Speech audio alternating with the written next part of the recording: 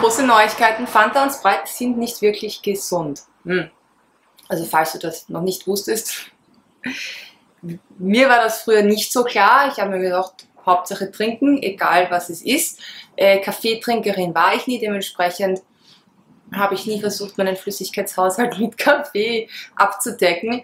Ähm, es gibt bestimmt auch einige Menschen, die das versuchen, funktioniert nicht wirklich. Und genauso wenig kann man eigentlich meiner Meinung nach sagen, dass man einfach zwei Liter Fanta pro Tag trinkt und dann genug Flüssigkeit zu sich genommen hat. Denn ja, hast du zwar eigentlich schon, theoretisch, aber gleichzeitig hast du noch wahnsinnig viel Zucker konsumiert und ähm, künstliche Farbstoffe und alle möglichen anderen Zutaten, die in diesem Getränk drinnen sind, die dir eigentlich nicht gut tun. Und ja, bei Sprite das gleiche, bloß ohne den Farbstoff. Aber sagt man dann, naja, es schmeckt doch gut und Wasser ist langweilig, was soll ich denn trinken? Dann habe ich eine sehr gute Alternative für dich und zwar etwas, das besser ist als Fanta und Sprite.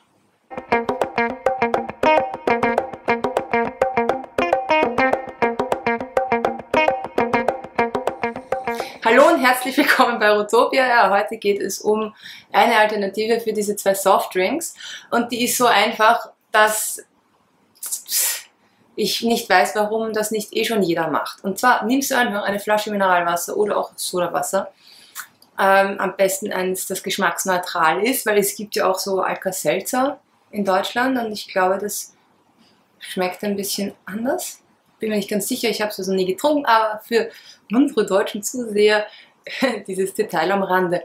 Also du nimmst dir ein Wasser oder Mineralwasser, ein irgendwas mit Sprudel drinnen, du kannst doch so eine Club-Soda-Maschine verwenden und das selber sprudeln lassen, das Wasser, oder so eine ganz alte Siphonflasche. Dann fügst du hinzu zwei weitere Zutaten und zwar die erste, entweder frischen Saft oder ätherisches Öl. Bei Fanta wäre das Orangenöl oder Orangensaft und bei Sprite am besten Limettensaft oder Zitronensaft, wenn du keinen Limettensaft zur Verfügung hast. Bei Limetten wäre es noch am aller, allerbesten, wenn du reife Limetten kriegst, nimmst. Und zwar sind die schon ziemlich gelb. Oft sieht man ja im Laden total grüne Limetten, die auch wahnsinnig hart sind. Die sind eigentlich noch gar nicht reif. Das Blöde bei Zitrusfrüchten ist, dass die nicht nachreifen, wenn sie mal gepflückt sind. Also achte gleich beim Kauf drauf, dass die reif sind. Alternativ kannst du aber auch ätherisches Öl verwenden in Lebensmittelqualität, also ätherisches Orangenöl für Fanta und ätherisches Zitronen- oder Limettenöl für Sprite. Naja, jetzt schmeckt es ja. In Österreich sagt man aber wie ein Soda Zitron, wenn man da jetzt Zitronensaft und Mineralwasser mischt. Ja, und daher gibst du auch noch einen Süßstoff deiner Wahl hinzu. Und da würde ich dir raten, nicht normalen Zucker zu verwenden, denn dann wäre es schon wieder fast das gleiche wie das Originalgetränk, sondern stattdessen zum Beispiel Xylitol auszuprobieren. Das ist ein Birkenzucker, der ist auch gut gegen Karies, hat keine Fructose, einen sehr niedrigen chemischen Index und insgesamt auch weniger Kalorien als normaler Zucker. Und ähm, ja, ist sehr neutral in seinem Geschmack, eignet sich also ausgezeichnet oder wenn dir wichtig ist, da gar keine Kalorien vom Zucker dabei zu haben, würde ich Stevia verwenden. Stevia ist an und für sich eine Pflanze und du bekommst äh, mit, mit sehr, sehr süßen Blättern. Die Blätter kann man trocknen und zermahlen, reiben und dann hast du ganz, ganz süßes Pulver einfach aus den Blättern. Mittlerweile gibt es äh, Stevia allerdings auch in sehr, sehr verarbeiteter Form. Also wenn du dich dafür entscheidest, sei es als Pulver oder als Tropfen, dann achte bitte auf die Inhaltsstoffe, dass da so wenig drinnen ist wie möglich, abgesehen vom Stevia.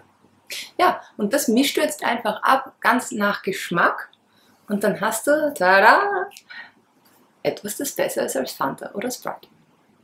So einfach war das schon. Ich hatte mal einen Mitbewohner, der war ziemlich übergewichtig. Der hat sich jeden Tag zu Hause circa zwei Liter Softdrinks reingezogen, meistens Sprite oder Cola. Was der außerhalb gemacht hat, weiß ich nicht, weil ich noch mehr Zeug getrunken. Ich habe ihn, glaube ich, nie Wasser trinken gesehen. Und der wollte abnehmen und dann hat er schon nichts mehr gegessen und nur noch Proteinshakes sich reingezogen. Aber an den Softdrinks, von denen ist er nicht weggekommen. Und ich glaube, das liegt einfach sehr daran, dass da so viel Zucker drinnen ist, dass man nach diesem Zucker und nach dieser Energie giert. Und äh, probier bitte nicht als Alternative einfach die Light-Version zu verwenden, denn da ist dann meistens Aspartam drinnen und dazu gibt es unendlich viel Information, warum das eigentlich auch gar nicht so gut ist für dich, falls du das noch nicht weißt.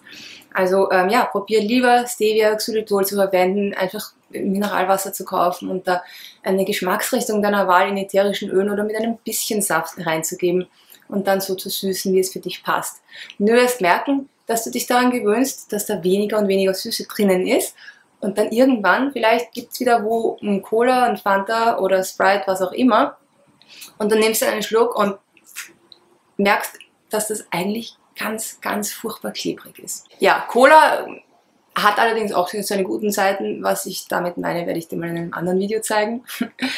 Aber bis dahin ähm, hoffe ich mal, dass dir dieses Video gefallen hat, dass es für dich hilfreich ist. Vielleicht hast du auch jemanden, der mit äh, Softdrinks Probleme hat oder jemanden, der gerne abnehmen möchte und ähm, du siehst da so von außen sieht man das ja meist besser, dass der Mensch einfach nur mal Softdrinks weglassen könnte und da wahrscheinlich dann schon einen Gewichtsverlust feiern würde. Wenn man bedenkt, ein Liter Softdrinks, Cola, Fanta, Sprite sind, glaube ich, ziemlich ähnlich, hat in etwa so 400 Kalorien. Also mein Mitbewohner hat da mit seinem Doppelliter pro Tag 800 Kalorien getrunken, nur zu Hause. Und das ist so viel wie ungefähr 100 Gramm Fett. Also 100 Gramm pures Fett haben 900 Kalorien, im Körper sind es etwa 700, weil da das Fett auch mit Wasser gemischt ist. Und ja, wenn du da also so einen Doppelliter Softdrink konsumierst, trinkst du in 10 Tagen in etwa das Äquivalent von einem Kilo Fett. Hey, muss nicht sein. Also keine Leitprodukte, keine normalen Zuckergetränke. Probier mal das aus, gib mir Feedback, ob es ähm, bei dir funktioniert hat, ob das eine gute Alternative ist für dich. Du kannst natürlich auch alle anderen Geschmacksrichtungen dieser Welt nachmachen. Du kannst dir frische Beeren reinwerfen in dein Mineralwasser. Minze ist super gut. Limette und Minze ist ein kleiner ähm, alkoholfreier Mojito. Warum nicht? Probier einfach aus, was dir schmeckt. Ich würde mich freuen über einen Kommentar, ob es dir geholfen hat. Ein Kommentar, welche Geschmacksrichtungen du ausprobieren wirst. Vielleicht auch etwas, ähm, was ich als nächstes filmen könnte. Schreib mir das alles unterhalb rein. Wenn dir der Clip gefallen hat, freue ich mich sehr über ein Gefällt mir oder wenn du meinen Kanal abonnierst, wenn du mehr von mir sehen willst. Und wenn du überhaupt Details von mir haben möchtest, die ich nur in meinen E-Mails teile, dann komm rüber auf rotopia.com und melde dich dort zu meinem Newsletter an. Vielen, vielen Dank fürs Zuschauen. Ich wünsche dir einen wunderschönen Tag und bis zum nächsten Mal bei Rotopia. Ciao. Fanta, Zitronensaft oder auch Limettensaft, den finde ich noch viel, viel besser. Und äh, bei, nein, das war bei Sprite.